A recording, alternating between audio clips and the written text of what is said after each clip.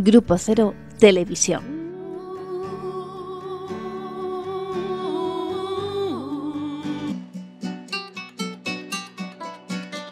No estamos exactamente en ningún sitio.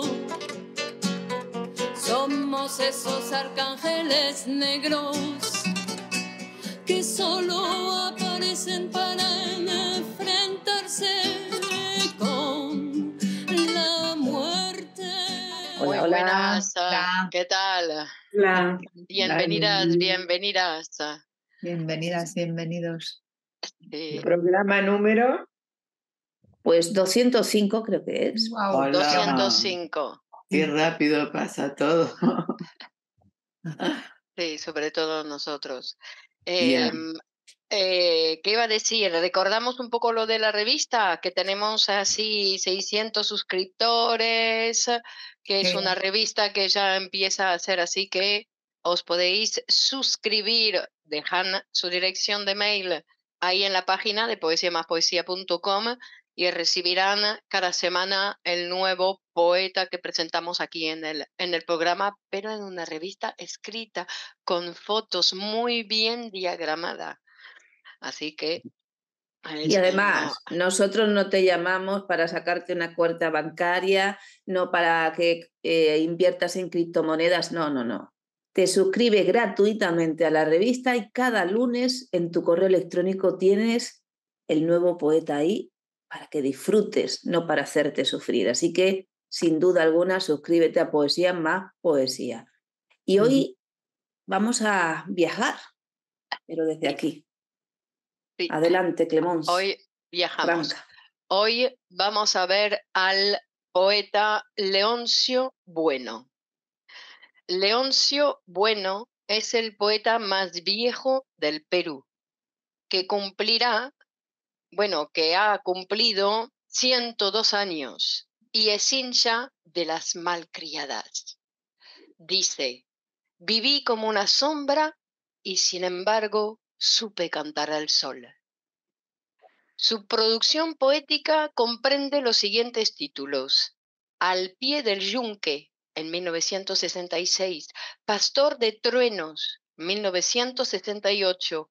Invasión poderosa, 1970. Rebuzno propio, 1976. Y la Guerra de las Runas, 1980. Además de sus ediciones ar- artesanales como Los últimos días de la ira, Hijo de Golondrino, que son, es un libro, Hijo de Golondrino es un libro de memorias que no encontré. Y después hay otros como Recuerdos del Frontona. En 2016, eh, Leoncio Bueno fue reconocido con el premio Casa de la Literatura de Perú por su larga y valiosa producción literaria. Ahí le hicieron una entrevista, o más bien en, e- en ese, en esa ocasión le, mm, se presentó él. Y entonces tomé esa presentación, le añadí algunas cosas, pero sobre todo ver cómo él hablaba de sí mismo como biografía. Testimonio del poeta Leoncio Bueno. Entonces, este es el discurso que, mm, que va a hacer al recibir el premio. Nunca soñé recibir un premio como el que me otorga la Casa de la Literatura Peruana.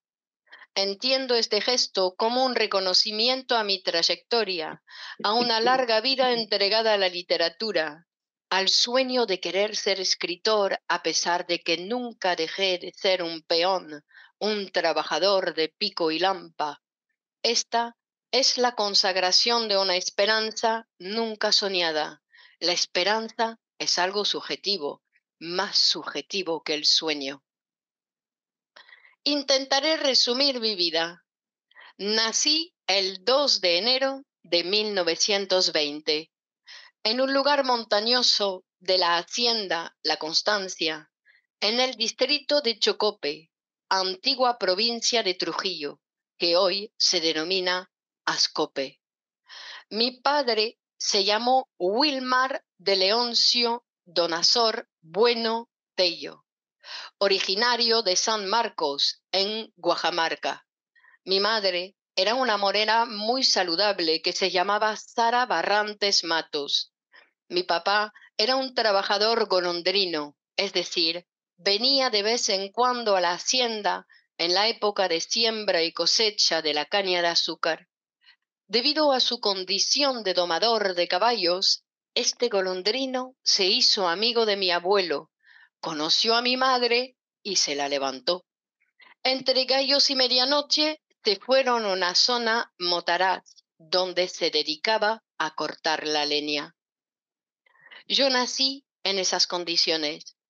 Mi padre no pudo inscribirme, sino hasta un año y meses después de mi, mi nacimiento. De esto me enteré recién cuando tenía 66 años y debía hacer los trámites de mi jubilación. Esto me lo había ocultado mi familia durante toda mi vida.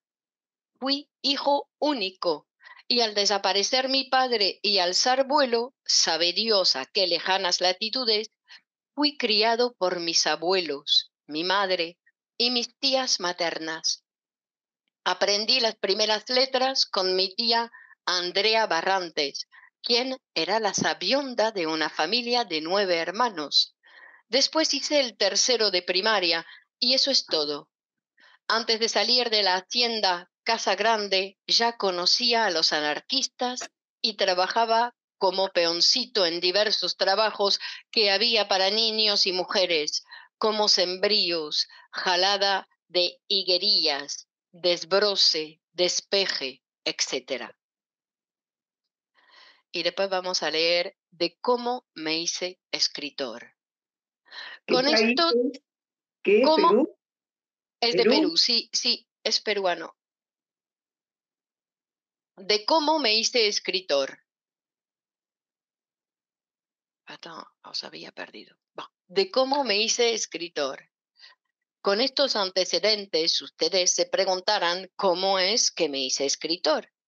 Fue cuando los anarcosindicalistas me dijeron que para ofrecer discursos, realizar arengas y redactar volantes, tenía que aprender a escribir. Y para aprender a escribir, tenía que leer. Así fue que en la casa de la hacienda Bacalá había libros que mi abuela compraba a plazos. Teníamos Los Mil y Una Noches, Flor de Fango, de Vargas Vila, y un libro de poemas de Quevedo. Los anarcosindicalistas nos hacían leer obras como Historia Universal del Proletariado, Veinte siglos de opresión capitalista. Esos eran los evangelios de la santa anarquía. Entonces, antes que escritor, quise ser orador, un hombre de arenga. Mi primer contacto con la poesía se, con- se produjo cuando un dirigente anarquista me dijo, ¿quieres hablar bien? Entonces tienes que leer mucho y comenzar por la poesía. La poesía tiene fuerza e impacto. Los primeros poetas que me deslumbraron fueron Homero, Becker y César Vallejo, con Los Heraldos Negros, un poemario lleno de provincia. Bueno, vamos a ver, vamos a leer nuestra primera ronda para eh, descubrir un poco ese, ese poeta que escritura nos va a presentar. Empieza Alejandra, que elegí un poema a propósito. Poema del amor violento. Es un poema a la poesía. Ven, muchacha sonrosada, aplaca mi impudicia por ti misma desatada. Ven, y sé la compañera de mis nuevos desenfrenos. Por esperarte a ti, me he conservado casto como un profeta bíblico. Ven, y déjalo todo por mí, que yo también lo dejaré. No temas, nada nos pasará. Me haré un bribón experto. Huyamos juntos, pernoctemos en aldeas y en caminos, hagamos el amor bajo los puentes, en acequias, en chozas abandonadas y en hoteluchos de mala muerte. Recorramos el mundo practicando un amor incestuoso, porque tú puedes ser mi hija y yo tu padre. He esperado mucho, eres tú la que tardas a la cita. El amor está fuera del tiempo. Ven, doncella de coral, eres la verdadera poesía. La verdadera poesía me acaba de llegar cuando estoy jugando los descuentos. Ven, juntos haremos un gran incendio con nuestros amores licenciosos. Juntos tú nacerás conmigo y yo de nuevo. Derrumbaremos los ídolos de izquierda y los prejuicios de derecha. En este tiempo infame de los asesinos, guirnalda tropical, yo me confieso enamorado loco de tu orbe celestial. Anunciador de banquetes singulares, ven, desnúdate, para que pueda ver la única verdad en todo su esplendor y emprenda la ruta de mi ansiada liberación. Abramos juntos las compuertas de la inocencia salvaje para eso te esperaba a ti. Por ti me embarqué en las conjuras. Salí a buscarte en el, infierno de las ciudades extranjeras y tú estabas ahí, fresca y sonrosada como las hijas de Socabaya. Muchacha tórrida, deja que acaricie tu bellocino de oro. Me postraré ante ti para recibir tu hostia caudalosa. Sé mi muchacha, y si fuera posible, déjate preñar. Yo robaré y mataré por ti. Por ti cometeré toda clase de estropicios por el resto de mi vida. Hagamos las locuras más facciosas. ¿Cuánto más puede durar un amor así? ¿Un mes? ¿Una semana? ¿Un día? ¿Una hora? ¿Qué importa el tiempo? Un minuto contigo puede ser la eternidad o viceversa. Ven, muchacha erótica, gloriosa, despliega tu hidromiel, tu océano de caracolas bajo mi labio humeante. Nada habrás perdido, nada, como nada, pierde el mar.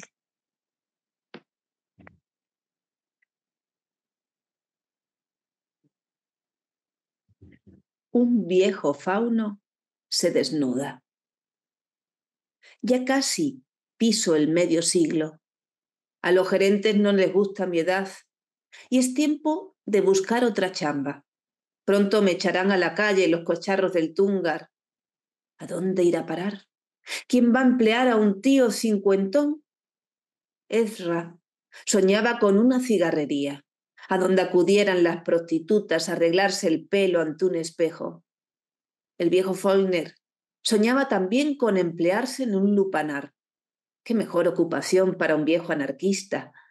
Por favor, señoras prostitutas, honorables cabronas, tengan la bondad de atender este aviso importante.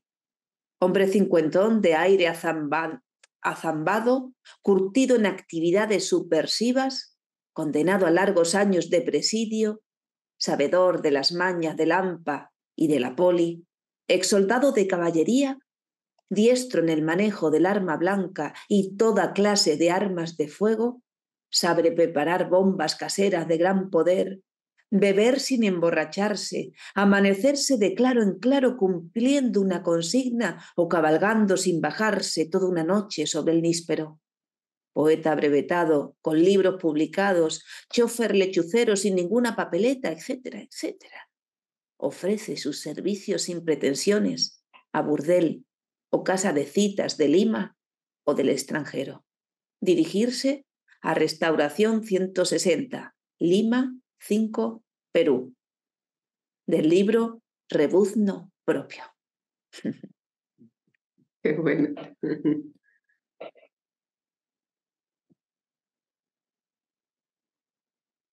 Bueno, ¿lo saltamos y después lo volvemos a leer o algo así? ¿O cómo hacemos? Bueno, dale, Norma, Norma, rebuzno propio. Ahí va, ¿eh? Escribo, canto, clamo y proclamo, pero aún no suena mi escuálido quirquincho. Siembro todo, barbecho, siembro, vuelvo a podar, barbecho sin descanso, mas no veo crecer mi verdolaga. Ando, camino, sudo, la gota gorda, hollando inhóspitos senderos, y siempre estoy reptando a tientas lejos de mi propio recoveco. ¿Hasta cuándo no voy a articularme? No voy a, ¿Hasta cuándo no voy a articularme mi rebuzno propio? Hiervo, cocino, aderezo, sirvo y a la postre cuaja, pero no cuaja mi propia salsa. Tiempo ha que y le doy al alma a esta mollera dura por saborear de veras mi sandía. Por saborear de veras mi sandía. Y ahí termino. Lázaro, a Víctor Mací, poeta y obrero de andamio. Pienso entre mi fondo, aquí donde el viento está bobo y no llega el murmullo de las cosas. Pienso todavía, antes, ¿qué había sido de mí? ¿Dónde están las voces fraternas? ¿Habrán niños durmiendo bajo los puentes? ¿Seguirán adelante la lucha los obreros? Esta temporánea muerte debe abonar un germen de futuras rebeldías. Así será. No importa pudrirme en la mazmorra. Es dichoso estar muerto a medias, en trance de una mañana decisivo, comprobando que se proyecta vida a otros muertos. La carne me abandona, pero quédanme fieles las uñas, el coraje y las ganas crujientes de nuevos alaridos. En torno de mis huesos, mis ánimos erizan sus fogatas. No moriré, quiero pegar el último aletazo. Fuera de mi morada, gallinazos estólidos. Lázaro saldrá, Lázaro vive, Lázaro, Lázaro.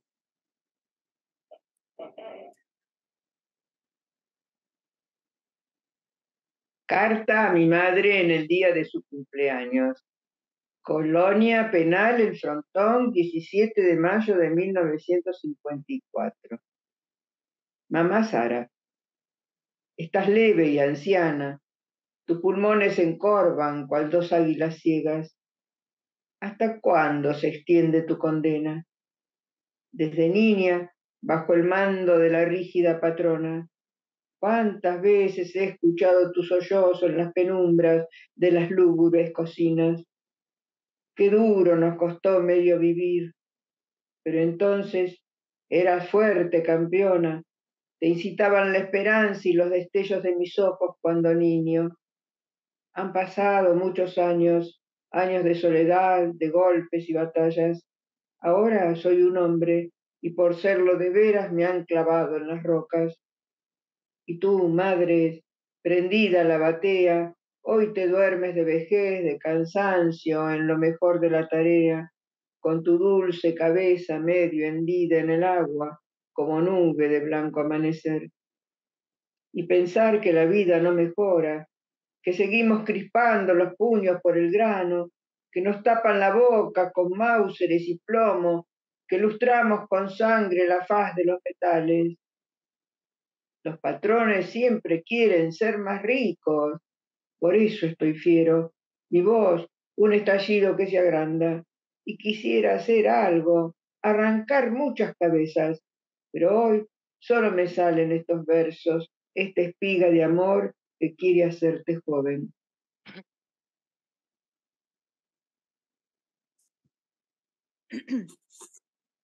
En busca de la felicidad. Un día arrojé a los vientos todas mis vestiduras mi persona postiza, mi dentadura postiza. Me quedé igual que cuando vine al mundo, bailando al son de la zampoña tocada al pie del lago por una colla, y vinieron a mí los peces y las aguas y las golondrinas arrechas de la comarca. Juntos realizamos las más increíbles orgías. Fui tomando mi auténtica forma, mi auténtica figura, mi inconfundible olor, comprendí que la felicidad consiste en andar completamente desnudo, invadiendo la tierra.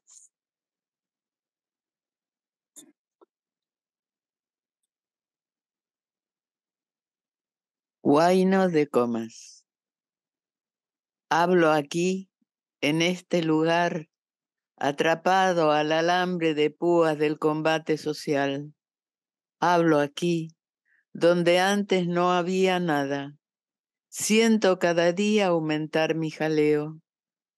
Mi voz, bien subversivas en esta tierra tomada al impulso de tantos. Somos setecientos mil artistas preñados de violencia moderna. Entre ellos, muchos mejores que yo, hablan y escriben vaticinios. Soy uno de tantos arrimando palabras, perdón, soy uno de tantos arrimados parábolas en un papel rayado. Confieso, estoy experto en tomarles la palabra a quienes me rodean. Las tomo, les voy les doy vueltas, las meneo, devuelvo de tal forma que ni los mismos padres reconocen a sus hijas. Un día la masa dijo, ¿somos o no somos? Tomamos estos cerros, he aquí, se alza una obra grande enganchada al remolino de la era espacial. Mañana vendrán historiadores gringos, sociólogos, psicólogos, antropólogos dirán, qué interesante, ¿cómo llega un paisaje lunar? Exacto, vinieron los hombres de la masa, no tenían agua para beber, pero sembraron árboles.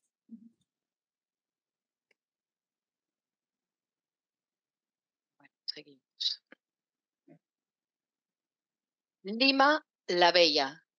Al cumplir 15 años, le dije a mi mamá que tenía que ir a Lima porque quería ser escritor. En Casa Grande nunca llegaría a hacerlo. Ella me respondió que era demasiado joven y me aconsejó que esperase unos años más. Así fue como me embarqué un 2 de enero de 1939, el día que cumplí 19 años, y llegué a Lima Cinco días después, cargando mis cuadernos llenos de poemas, yo me creía un hombre de letras en condiciones de despegar en el mundo de la literatura. Lima era una maravilla para mí. Tenía tranvías, todo era flores, belleza, el río Rimac. Lima era una joya. Una vez instalado, me recomendaron que presente mis poemas al diario La Prensa había que averiguar primero quién era el director, pero yo era tan audaz y vehemente que me mandé y fui al periódico para hablar con el director. Cuando éste vino y vio mis escritos a mano, me dijo, a ver, pásalos a máquinas y a máquina y tráigalos. Al final no regresé. Luego fui a Radio Nacional, donde César Miró era director y recité algunos de mis versos. Al final de la presentación me aconsejó que publique mis poemas. Me dio una tarjeta dirigida a Jorge Falcón, quien iba a sacar la revista llamada Hora del Hombre. Fue así que en 1943 aparecieron mis primeros poemas. En la tarjeta, don César Miro le decía a Falcón, en esos poemas hay algo. El resto es historia. La vida obrera y la literatura. Al pie del yunque es el título de uno de sus libros. No crean que después de esto el camino fue fácil.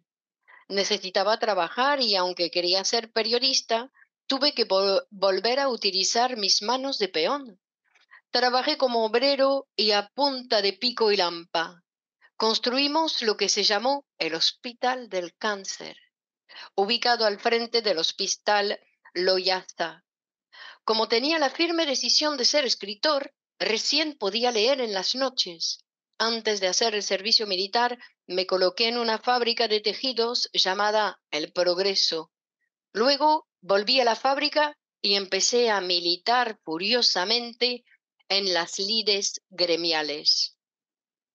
Mis primeros libros de poemas los escribí en la isla penal El Frontón, luego de haber sido sentenciado a cinco años por instigar contra el gobierno del general Odría. No fue la primera vez que estuve tras las rejas, pues en 1948 estuve en la cárcel central de varones por haber llamado sirviente del capitalismo al entonces presidente Bustamante y Rivero. La prisión me sirvió para recuperar mi antigua vocación literaria. En esos cuatro años de encierro me consolaba dedicándome febrilmente a escribir. Al salir en libertad, gracias a una amnistía, ya tenía mis cuadernos de un condenado, al pie del yunque y otros libritos que publiqué posteriormente. Entre la pluma y los fierros.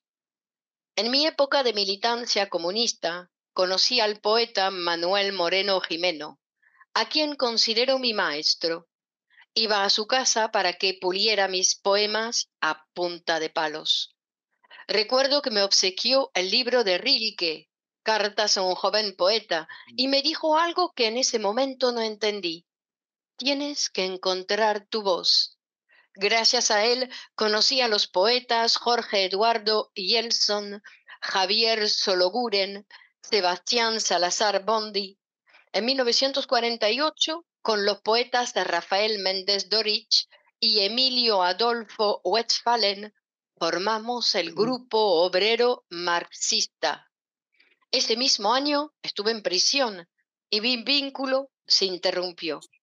Cuando salí de la cárcel, el patrón de la fábrica impidió mi, mi regreso y con la indemnización abrí un taller de baterías en Breña, al que bauticé como el Tungar.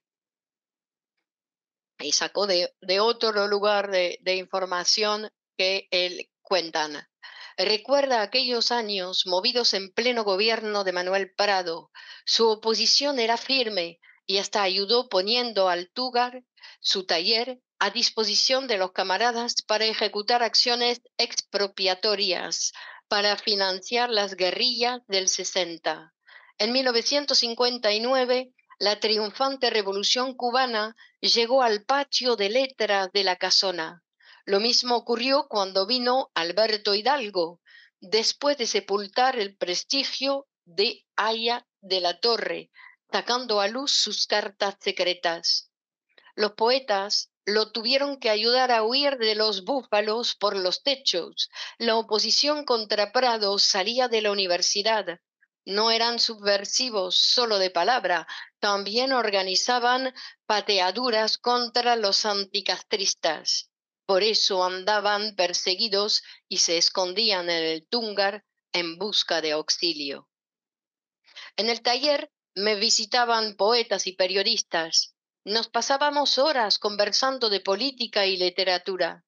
Ahí, el 7 de junio de 1956, fundamos el Grupo Intelectual Primero de Mayo, junto con Víctor Masi, José Guerrera Peñalosa, Eliseo García y Carlos Loyaza. Eran tiempos en que se atendía a las inquietudes de la clase obrera y nos dimos el gusto de llamarnos intelectuales, cuando éramos unos pichones. Me retiré del grupo en 1968 para dedicarme a la construcción de mi casa en Comas. Y debido a mi condición de trotskista, lo cual nos hacía víctimas de ataques, que, sé que, que le dijeron que era trotskista y que él dice que ni sabía la ideología exacta de, de Trotsky. Pero bueno, después seguimos un poquitín. Los rebuznos de Leoncio. ¿Qué clase de poesía hago yo? En realidad no hago poemas perfectos como Eliesson, como Eguren o como los surrealistas. ¿En qué reside lo que hago? En el punch. Más que en el ego, mi fuerza está en el eros, me llaman un poeta del tercer mundo.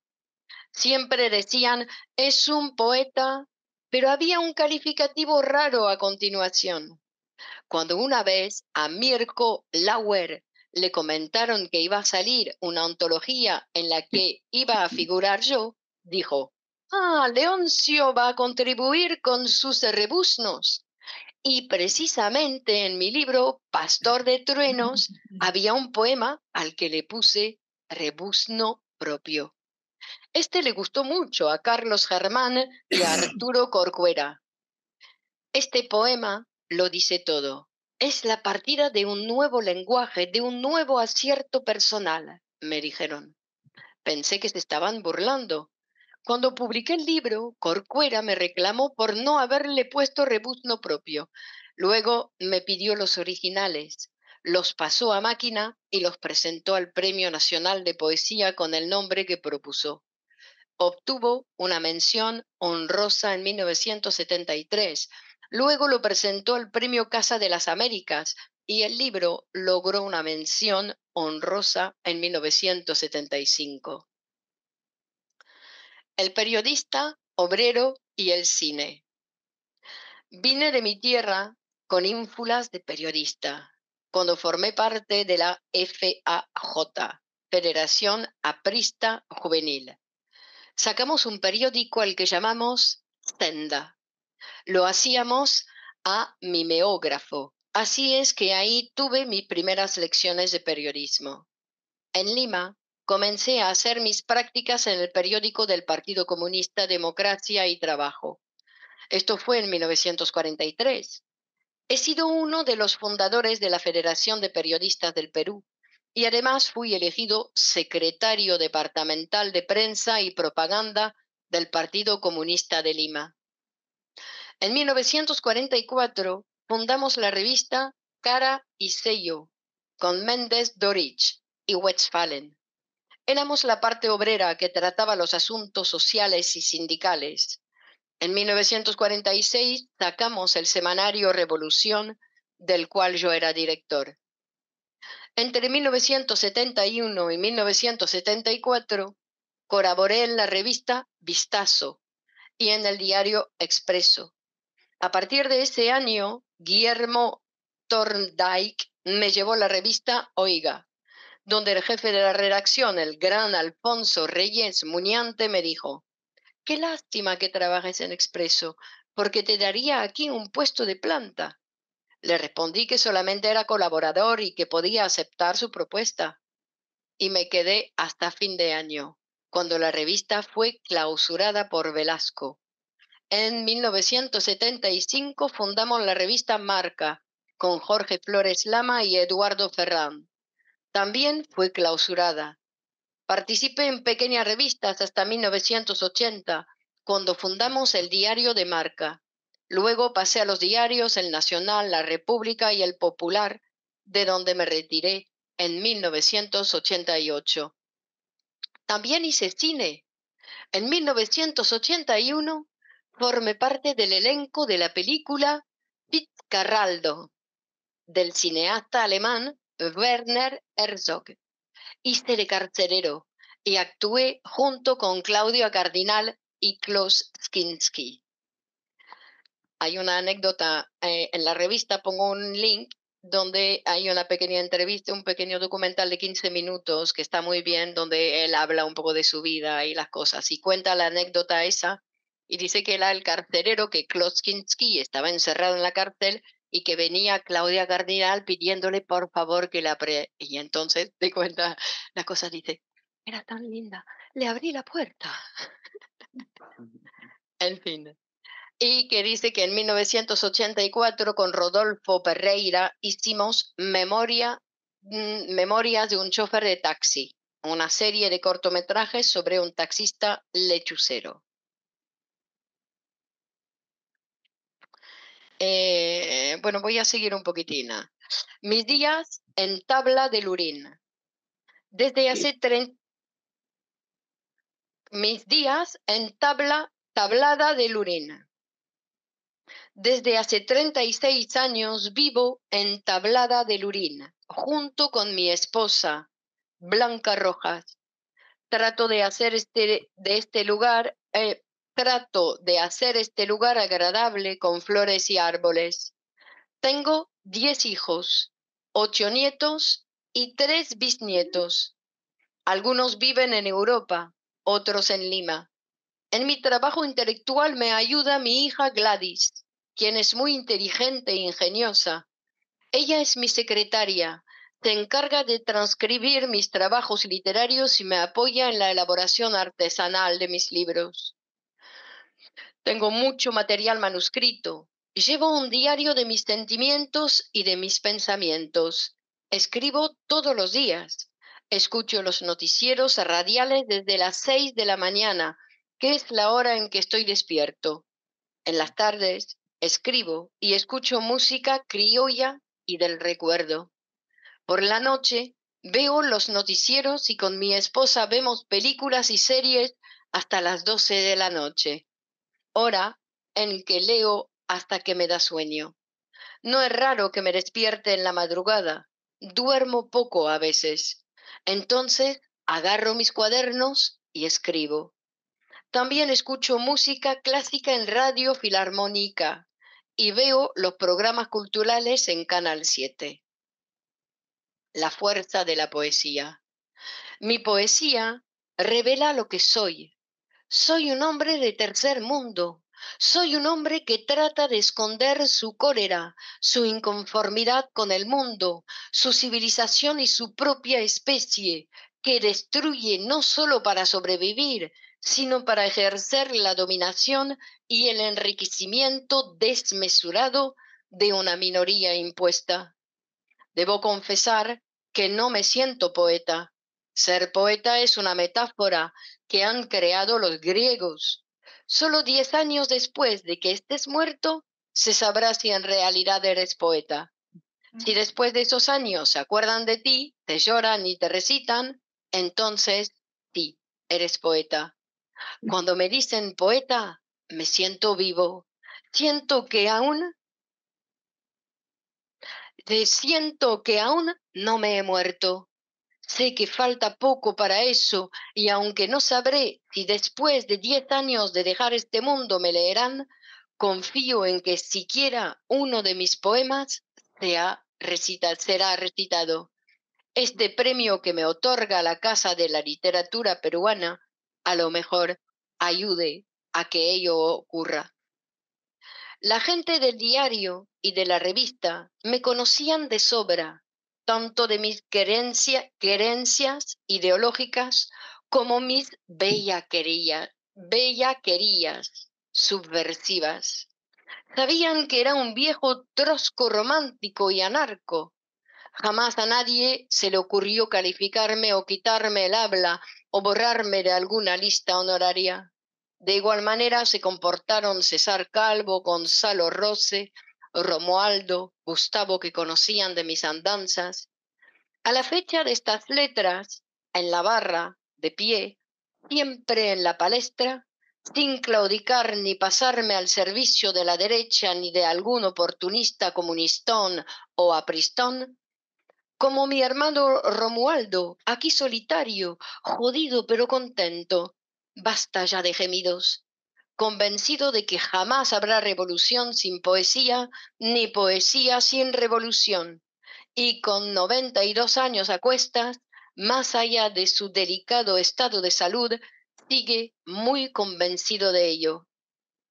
Ya se le han muerto todos los amigos, al menos esos amigos con los que estuvo preso en el frontón, con los que luchó cuando fue dirigente sindical, cuando se fajó por los derechos laborales de los obreros, cuando fue anarcosindicalista, comunista, aprista, trotskista, marxista y con los que ejerció el periodismo, con los que invadió los arenales de comas.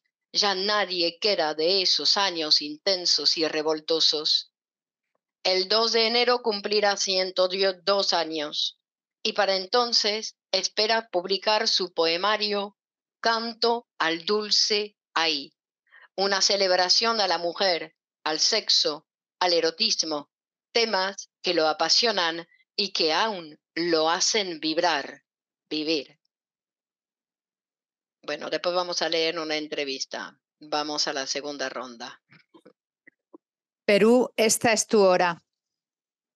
Perú, esta es tu hora. Que despierten tus cóndores guerreros, que despierten tus bravos labradores, Los Andes tiemblan, los Picachos lloran, la cordillera brama ardiendo en pumas. Perú, esta es tu hora. Tus praderas se pueblan de ondas y águilas, los ríos hierven de pirañas rojas. Que despierten tus cóndores guerreros, que despierten los bravos labradores. Perú, esta es tu hora, la hora de crear, de forjar en patria viva tu nueva hoz, la hoz de la victoria. Esta es la hora del Perú, hermano. Fájate firme, que despierten los cóndores guerreros, que despierten los bravos labradores.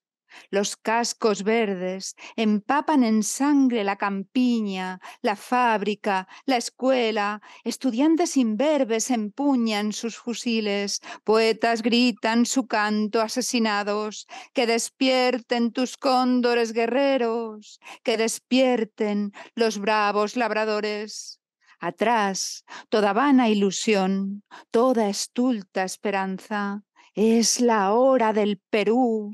Van a marchar los montes. Silencio.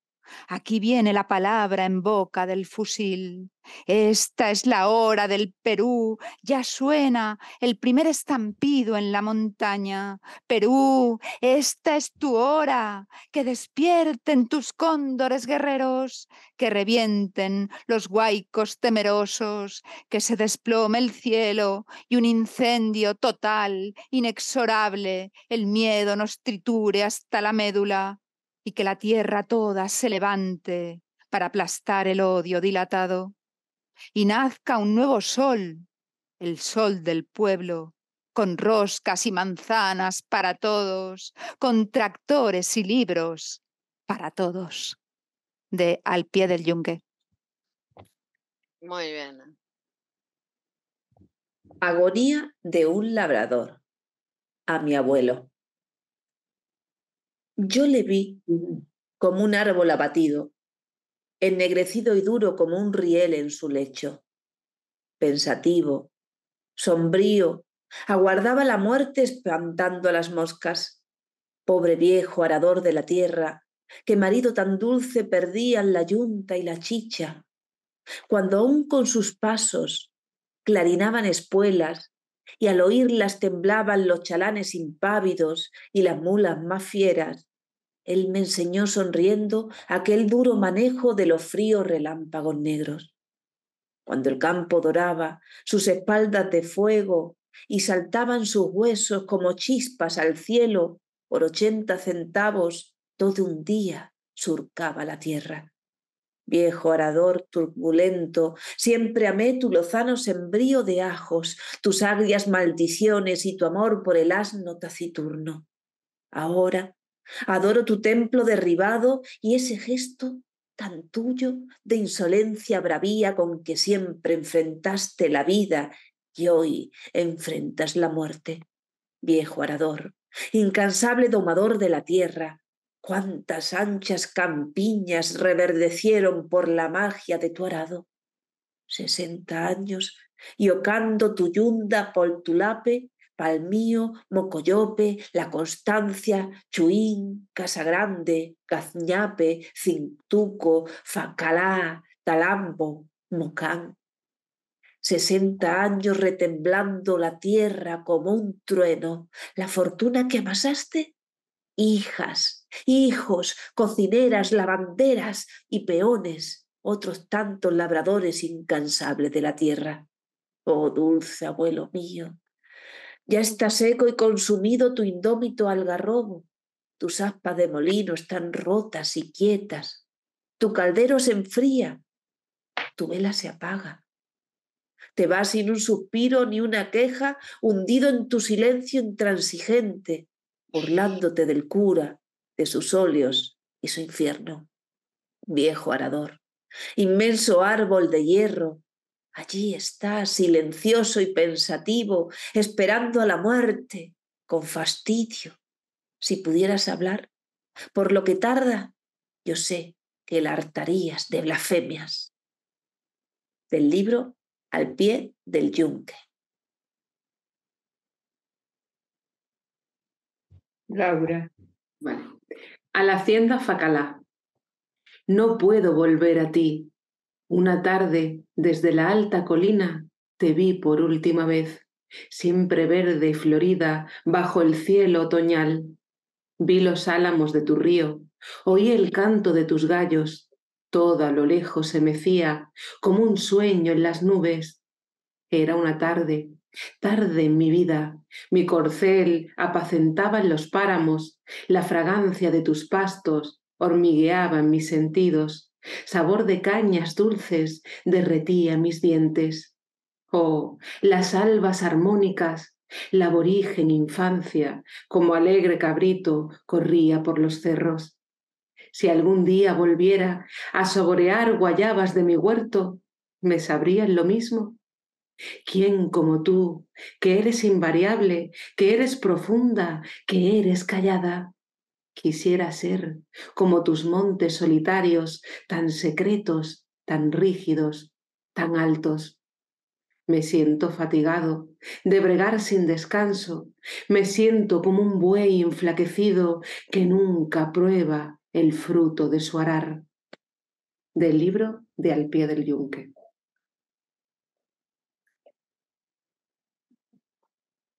Un hombre triste. Un hombre triste tuvo una vez un sueño. Quiso ser poeta, pero siguió siendo en la sombra un hombre triste. Una vez más soñó apasionadamente. Se enroló en la epopeya luctuosa, quiso ser un bravo, vivir épicamente su última muerte, pero en el fondo siguió siendo sin paz un hombre triste. Ya sin remedio, agotada hasta el fin la última aventura, convencióse que no era mala cosa ser hasta la médula un hombre triste de Pastor de Trueno, página 27. Adiós, pastor de truenos. ¿No sientes cómo balan tus cabras en la inverna? ¿No ves cómo llora tu hacha estremecida? Ya tus manos de yunque no tocarán su mango. Allí, en el rincón donde una tarde la pusiste, allí se cubrirá de polvo y moho. Adiós, pastor de truenos, ve a apacentar sin tregua tus rebaños de estrellas en el cielo. Esta noche los espinos del monte arrugarán sus hojas. Tu sombra melancólica vagará por los campos. Uno a uno tus pasos recogerás por todos los caminos. Vendrás en luna nueva a contemplar tus bestias afligidas, a tocar tus aperos, tu hacha, tus espuelas, y al sentir a lo lejos los bueyes mugirán desconcertados, y tu espectro se irá siempre más triste. Adiós, pastor de truenos, ve a prender tu fragua entre las nubes y a forjar el relámpago hacedor de la lluvia de Pastor de Truenos.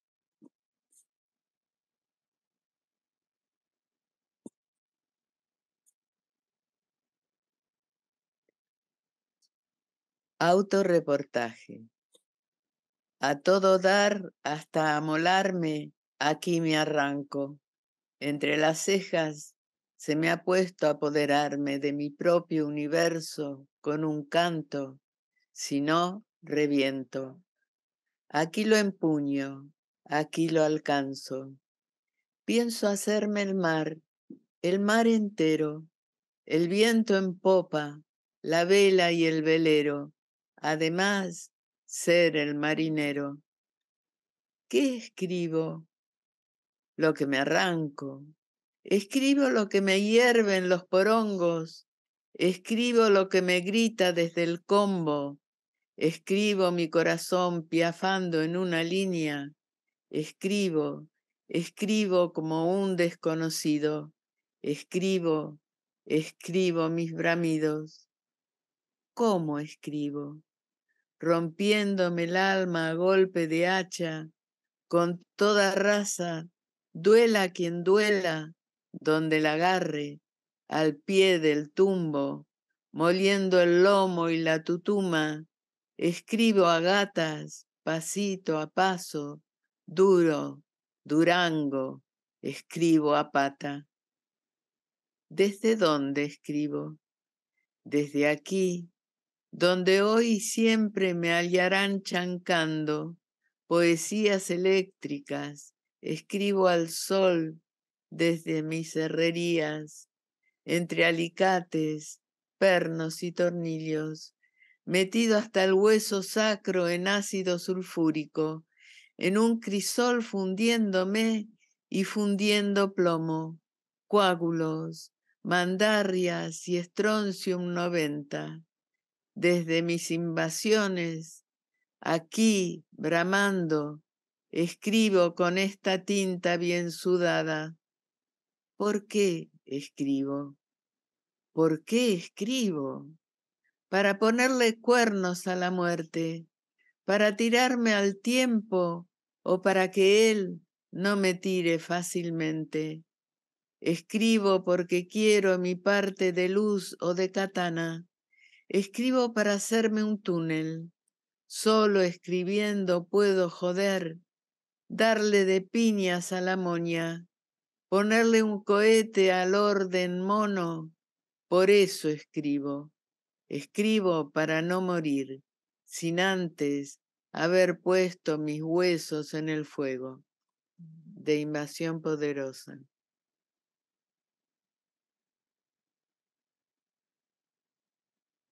Bueno, ahora voy a leer una, una entrevista que le hicieron justo antes de cumplir los 102, que se supone que los habrá cumplido en, 1900, en 2022.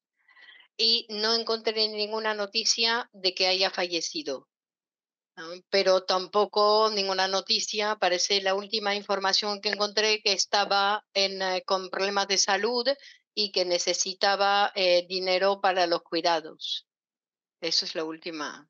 Entonces, vamos a leer la entrevista. Dice, escribir es sobrevivir. Le pregunta, ¿y poeta, escribir es sobrevivir? Claro, el escritor nace, el torero se hace, el cantante también nace. Es un regalo de la naturaleza. ¿Qué hubiera sido de usted si no hubiera conocido la poesía? Bueno, yo hubiera sido guitarrista y cantante. Mi ideal era Atahualpa Yupanqui. Yo quería ser como él. La música es, la poesía es música, ciertamente. Son hermanos. Cuando mueren las palabras, nace la música. Y cuando las palabras están adoloridas, nace la poesía. ¿Usted es un hombre nostálgico? No, yo no tengo nostalgia de nada. Yo soy un hombre muy alegre. ¿No extraña nada de su juventud? No puedo extrañar nada de mi juventud porque no fui feliz. Yo fui peón. No estaba reconocido por mi padre. Solamente me criaba mi mamá y como ella lavaba ropa yo tenía que quedarme en la hacienda Facalá, a las órdenes de mis tías. He tenido muchas enfermedades desde que nací. ¿Cuál ha sido el momento más feliz de su vida? Ahora que lo pienso, creo que todos los días de mi vida. ¿Sabes por qué? Porque a pesar de esa vida que llevaba, siempre me sobreponía. He sido un luchador. Yo daba agua a las bestias, cegaba el pasto, tenía que llevar leña a la casa. Trabajaba desde los nueve años, ganaba 50 centavos al día y si trabajaba toda la semana completa sin faltar, me daban 60 centavos y media ración, que era carne, frijoles, arroz y algo más. Era una vida de esclavitud. Bueno, así eran en las haciendas. Hasta ahora, el Perú no ha cambiado mucho en ese sentido. A su edad, ve que hay una degeneración social nosotros seguimos creyendo que somos la herencia de España y por eso cantamos Lima tan tradicional, linda tierra virreinal. Y por eso hasta ahora, a pesar de que la avenida de ya se llama Oscar R. Benavides, le decimos la avenida colonial. Hay una clase social aristocrática que creíamos que la habíamos destruido con Velasco, pero todavía sigue. Esa clase aristocrática nos jodió. No hemos podido conquistar nuestra libertad. ¿No somos libres? le preguntan. No, qué ocurrencia. Algunas libertades hemos conseguido, pero no lo hemos hecho como la, lo hizo Chile, Argentina, Colombia. Ellos tuvieron que venir acá a darnos la independencia. Nosotros somos un país frustrado. Y usted ha luchado contra esa frustración. Yo he luchado contra esa frustración y sigo luchando actualmente. Su lucha ha tenido frutos. No podemos ser totalmente pesimistas porque la lucha de la clase obrera no ha tenido ambición de dinero, pero algo nos ha dejado. Tenemos a personas como Ricardo Palma, Miguel Grau, Jorge Basadre y seguimos teniendo figuras intelectuales muy destacadas. No ha mencionado a Mario Vargas Llosa. Vargas Llosa pudo ser, pero se cagó totalmente es una mierda. Se hizo español, marqués. Cuidado, puede ser lapidado por el círculo intelectual por decir eso. Yo soy un autodidacta, yo soy un proletario. Yo le critico a Vargas Llosa su ambición de ser noble. ¿Cómo ve a la juventud de hoy? La juventud es muy inquieta. La juventud de hoy ya no canta esa huevada del puente a la Alameda. Ahora escuchan reggaetón. Es mejor que escuchen cualquier cojudez, pero no están pensando en eso que nos ha oprimido y por lo que hemos sufrido décadas de esclavitud. Entonces, ¿cree que los jóvenes de hoy harán un Perú mejor? Están haciendo un Perú mejor, porque gracias a ellos se sacó al impostor de Manuel Merino. Tiene ciento y un años. ¿Aún tiene el alma joven? No, no. Yo no tengo el alma joven. Yo soy un viejo y pienso como viejo. Los viejos sabemos mucho por experiencia y conocimiento. Los jóvenes tienen que aprender algo de los viejos y los viejos deben tener siempre cercanía hacia los jóvenes para tener la alegría de vivir y de querer hacer algo nuevo. Si supiera que darles un solo consejo a los jóvenes, ¿cuál sería? Que lean mucho, que aprendan mucho. Hay que conocer la vida. ¿Usted deja algo pendiente? Yo estoy muy contento con lo que soy. Siempre quise ser un pensador. Yo siempre quise escribir, ser escritor, periodista. Y todo eso lo conseguí. Maestro, ¿qué es el amor? El amor es una brujería que hace la naturaleza para mantener la especie. ¿La manera de cortejar a una dama ha cambiado con el tiempo? No, eso no cambia. Lo que ha cambiado es el sexo. El sexo ha cambiado el mundo. Me dijo hace algunos días que la poesía nos salva, pero ¿de qué nos salva? Lo que diferencia al hombre de los animales es que el hombre tiene la palabra. Y la palabra es poesía. Cada palabra es un poema. La palabra árbol es hermosa. Las palabras hacen al hombre. ¿Usted sigue escribiendo? Si no escribiera, yo estaría jodido, ya estaría muerto. ¿Sobre qué escribe ahora? Sobre lo que sucede en el mundo, el mundo está jodido. Estamos destruyendo el mundo. ¿Tiene planes de publicar? Sí, claro. ¿Sigue leyendo? Leo poco. Solo me sirve un ojo. ¿Cree que la muerte está cerca? La muerte es bienvenida, sobre todo si viene porque uno está viejo. Pero si uno busca la muerte de puro cojudo, no pues. ¿Usted la espera? yo me puedo morir cualquier día. ¿No le angustia? No. Bueno, ha vivido intensamente. Lo único que no sé es cómo me van a enterrar, porque no tengo plata. El Estado debería asegurarles el entierro a sus poetas. ¿Por qué la política no voltea a ver a la cultura? Porque solo piensan en la plata y el poder. El poder corrompe y cuando es un poder absoluto, corrompe absolutamente. ¿El Perú ha sido mezquino con su poesía? No, al contrario. El hombre que me recomendó para que mi primer poema sea publicado en una revista fue Óscar Miro Quesada, mi gran amigo. En este país esperamos que el poeta muera para reconocerlo. El poeta es un solitario, muchas veces muy creído. Se cree que está en la pomada. El poeta solo deja de joder cuando está muerto. Y después dice, que lo saqué de un, un reportaje que vi. La revolución no solamente es para la conquista del pan y las libertades cívicas, es también para la conquista del derecho que tienen todos los hombres y todas las mujeres de la tierra a disfrutar del canto y de la belleza, a lo cual agrego yo de la posibilidad de administrar libremente sus cuerpos y sus mentes.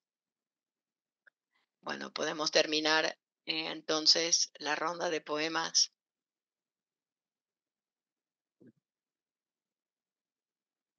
La captura del rayo.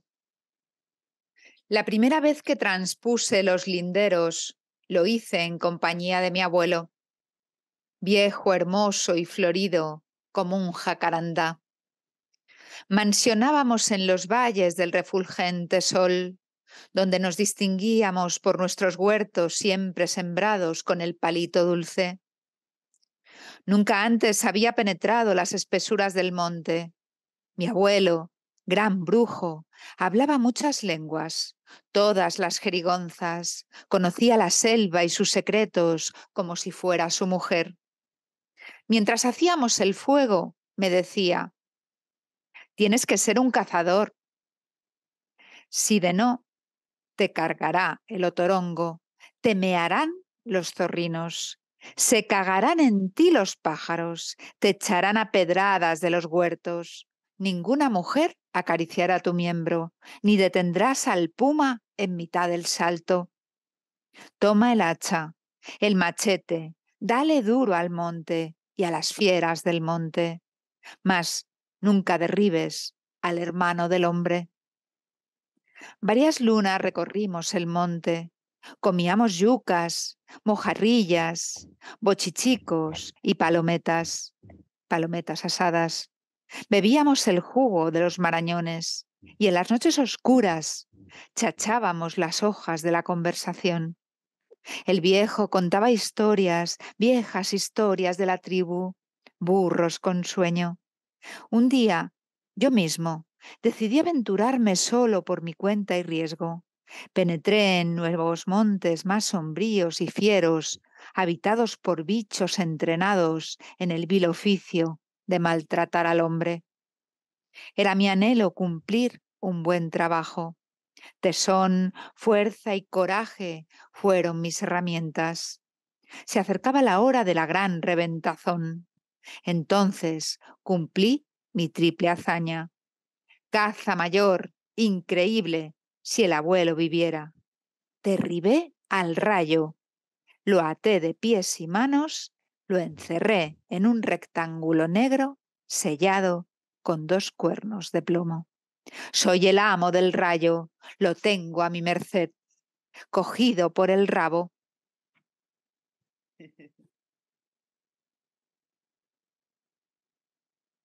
La marraqueta de acero. Eran tres trapiches, el A, el B y el C, devoradores de caña o carne humana. A medianoche chirriaban sus molinos como alaridos de perros. Les templaba los destemplaba los dientes, ponía la población carne de gallina. El trapiche tiene hambre. ¿A quién se irá a comer el trapiche? Un cholo va a caer en una de estas noches. Era la única forma de calmar los alaridos de la... Mi furor afloró demencialmente cuando una noche el A se engulló el brazo derecho de mi cumpita Colbert. Colbert era un muchacho fuerte y bonachón que me enseñaba el boxeo. Entonces le dije a la, maldito viejo, montón de fierros, me las vas a pagar. Yo sé en qué muelas ponerte una noche de estas, no un cráneo, ni un brazo, una marraqueta de hierro te voy a dar a tragar. Justo a la hora del cambio de guardia, diez kilos de pitanza del más templado acero entre las muelas de la polea madre y el terremoto se produjo. Las chumaceras volaron, los ejes se salieron de su centro, los molinos se encabritaron como machos trotones y el motor paró en seco, saliéndose de sus cimientos. A la mañana siguiente vinieron las investigaciones. Esta es la obra de un loco, safotaje anarquista. Experto Sherlock Holmes de la ofidica mirada, interrogando día y noche, ¿tú qué haces después de trabajar? ¿Y tú? ¿Y tú? Yo voy a cuidar mis chanchitos. Yo me entretengo con mi huertita. Yo corto la leña para negociar. ¿Y tú, Zambito? Yo Nada. A veces leo un poco. Investigación concluida. Hemos dado con el malhechor. Del libro Rebuzno propio.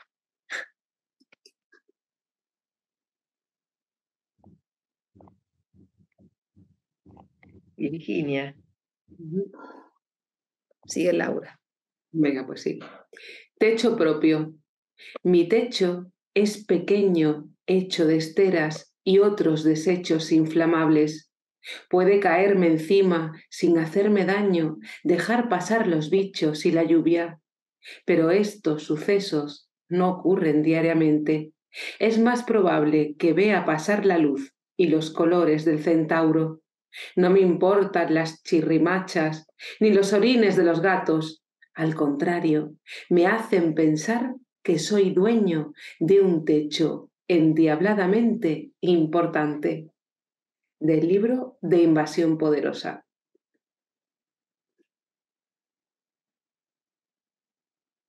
Al cuerno, el poderoso. Yo no Ah. tengo tus. Sigues tú. Ah, vale. Al cuerno el poderoso. Yo no tengo entusiasmo para llevar mi flauta a los bulines, para besarle el orto a los burócratas, ni amputarle a ninguno su pitanza. No espero que mi perno se lubrique con la loca pomada que algún otro reclame. Tenga yo, como ahora, mi martillo a la mano y diré siempre, al cuerno, el poderoso, de rebuzno propio. Ya está. Bien. Poema para una. César Vallejo se metió ahí en el, ¿no? Mm. Es la música de César. Al cuerno, el poderoso. Poema para una nueva época.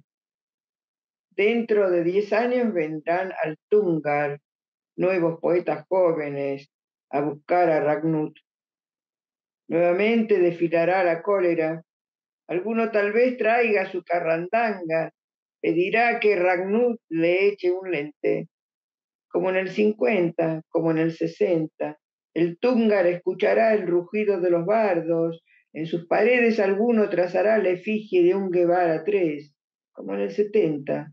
Nuevos jóvenes enseñarán los puños a los ya situados, exclamando, nos han entregado una, una catástrofe para poetizarla, y Ragnuk arderá de entusiasmo, una vez más se sentirá un asno joven.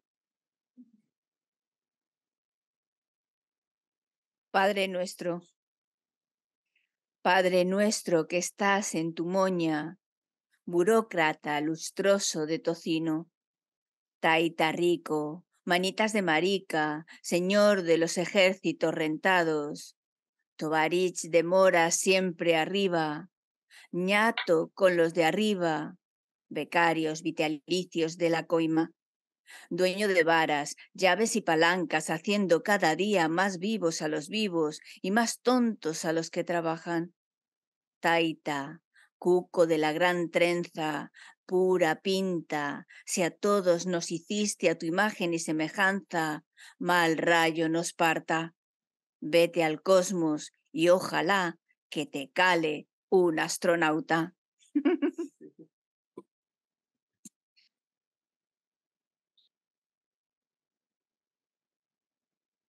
Reflexiones ante la cuna. A mi hija Sarita. Esta vida es más piña cada día. Cada día es más ciego este tugurio. Se encoge y pesa menos nuestro pan. Y estando así las cosas, le hemos traído al mundo, burbujita. ¿Qué puedo hacer ahora, a esta hora, en que las papas queman y lejos por las nubes vuelan como satélites los garbanazos. Le daré a mi terca frente, le daré a mi terca frente contra un muro para ver si restalle alguna idea. Romperme el alma quiero, pujar, tragarme algunas piedras, es todo cuanto sé y es cuanto puedo brujita de mi alma, yo te juro convertirme en un peón incomparable, ser de veras mil, ser de veras un negro en las tareas, cumplir diez mil, cien mil jornadas sudorosas, empernarme en mi banco de trabajo a fin de que tú, siquiera tú, crezcas, buena moza, distinguida y un poco impertinente, y vayas algún día a esa vieja casona de San Marcos a juntarte con centenares de estudiantes inquietos, talentosos, pendencieros, donde, desde donde tal vez llegue a hacerte oír y suene tu voz como un rebenque impávido y digas esas cosas que nosotros no sabemos decir por ser tan rústicos. Qué amor. Escrito en el 67. Abril de 1957. Bueno. Ya está. Leoncio, bueno. Muy bien. Ah, sí. Quedó un poema sin leer que le tocaba a Sí, Alejandra. ¿no? sí, pero. No, porque sí, estaba pero- repetido. Estaba repetido, sí? Norma, por eso no lo leí. Ah, Ah, mira. Bueno, salió muy bien. Les Falta el de Virginia, mátenme, ¿no? Ese del negro, Lo dejamos para la revista. Ah, sí, para Mm. que vengan a ver a Un la poco de misterio. Muy, Eso. muy bien, ¿eh? Muy lindo poema. Sí. Un encuentro muy agradable. A por más. Seguimos. Bueno, seguimos la seguimos, eh. próxima semana. Muy bien. Muy bien. Chao. Un Gracias abrazo. Gracias. Ustedes. ¿Cómo? Encantado de estar con ustedes. Un fuerte abrazo. Chao. Hasta luego. Gracias. Gracias. No estamos exactamente en ningún sitio. Somos esos arcángeles.